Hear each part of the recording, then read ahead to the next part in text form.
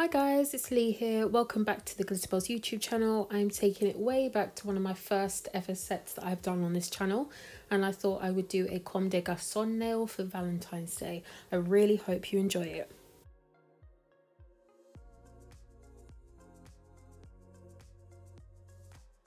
For my base colour, I am using Send Nudes, which is one of the new Hema-free gel polishes. It's absolutely stunning.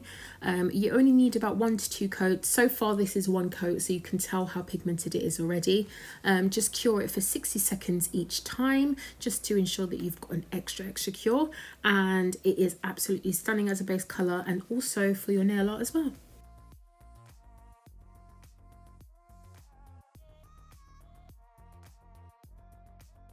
On a matte surface, I am doing my nail art. I am using my fine liner brush and Ruby, which is an unbelievable gel. I do two arches on either side. This will create my heart-shaped French tip. Um, I go ahead and fill it in. It will be better to do it with a flat brush, but I just chose the long way around and used my fine liner brush to do it all throughout. Um, you will see me constantly moving the nail around just to make sure that my arches are cohesive and quite similar looking. So just keep going and you will get it right. Trust the process and it will look absolutely gorgeous.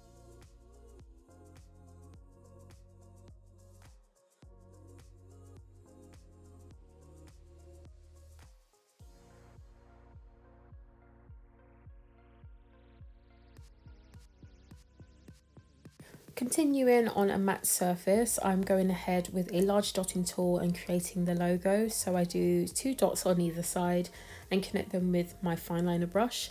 It is basically a wonky heart, um, which I really love about this logo. So if you add little points on either side of the heart, you will create that sort of shape that the heart is on the logo. Um, join them together, fill them in with your fine liner brush and scatter them around. In this case, I've scattered them all over the nail, including just the tops in certain parts in the corners. Um, and I think it looks really good. So just play around with it and do whatever you think's best for you.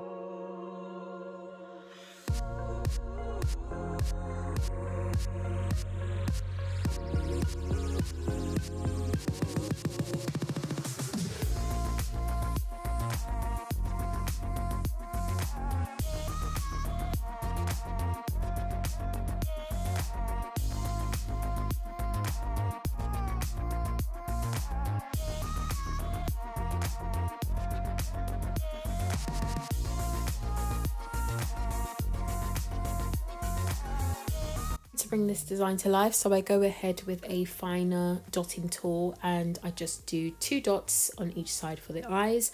I make sure that I do them slightly longer and at an angle. It's just not a straightforward dot. Um, and then with my fine liner brush I will go ahead and point each of the edges or the corners of the eyes.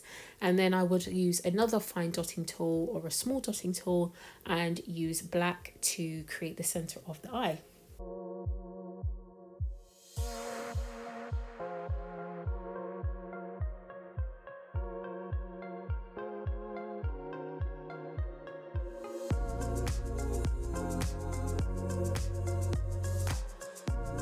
Once you've cured all of that, then you go ahead with your top coat. I'm using a no wipe top coat here and I just go over the whole surface of the nail, cure for 60 seconds, and then that is your set complete. I really hope you enjoyed this set. Thank you so much for joining us, and I hope to see you again soon. Make sure you like, comment, share, and subscribe.